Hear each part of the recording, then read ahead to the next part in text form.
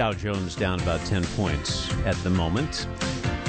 Time for a check on the entertainment business, and here to give you a heads up on uh, concerts, shows coming to Chicago. Say hi to Front Row. Phyllis. Hi. Hi, Phyllis. I, I love this service that you provide because I can't tell you how many times I look in the paper and I see the show that I missed. Right. And, right. And, and I, I hate that. I think, you know, well, why wasn't I looking for something? And that's what you are here That's- to do is to tell us what is coming up, even though you may not see it like anywhere yet. Right. And I think that all of us are on so much, you know, information overload that, you know, unless somebody's giving you that information direct, you know, that's what we do. So that's a good thing. Great. Who's, Yeah. who's going to see New Kids on the Block Saturday and Sunday? Right. I think I am. Yeah? New kids on the block. I want to, right? It's actually going to be a great show over at the Allstate Arena. Tomorrow evening show is sold out. So Sunday evening show um, is still available. Tickets are available. Okay. They're going to be with TLC and Nelly. And the show's going to be really different because they wanted to do it in the round. So Cool. they're, yeah, which is really great because, you know, Allstate is so big. Yeah. that More people get better seats. Yeah. And it's a little up close and personal. So I like that.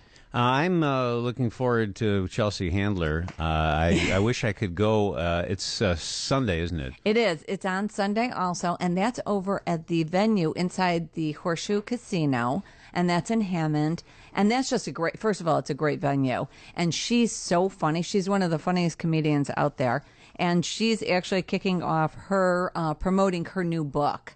So, um, and so you'll hear some stories from her book as well as her life stories, I'm sure. Mhm, I'm sure. Uh, We had uh, Craig Ferguson on uh, the show with us the other day, and talk about a funny guy and a smart guy. Yeah. And he's going to do a couple of shows in the area next week. Is it? Yeah, he is. On May 28th, he's going to be over at the Rialto Theater on uh, in Joliet, and he's bringing his tour, which is Hot and Grumpy, is what it's called. so, I, I, since you got a chance to meet him, I'm not going to say any more, right? Hot and grumpy. Hot and Hot grumpy. and Grumpy. Uh, Perfect. he'll be in Waukegan too at the Genesee, and then uh, many uh, many big shows coming uh, to our theater district here, starting with uh, uh, Once. Right, right. June 2nd through the 7th over at the Cadillac Theater.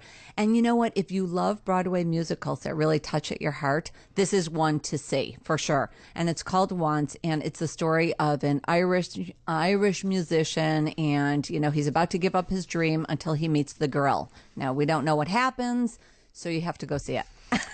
Okay, and, and and around the same time, we have uh, on your feet. We just had Gloria Estefan in the studio Yeah. a couple of days ago talking about that, and I think I think the first shows start on June second, but it doesn't officially open until later. I think. Seventeenth, I think, something 17th. like that. Yeah, at the 17th, right. Oriental.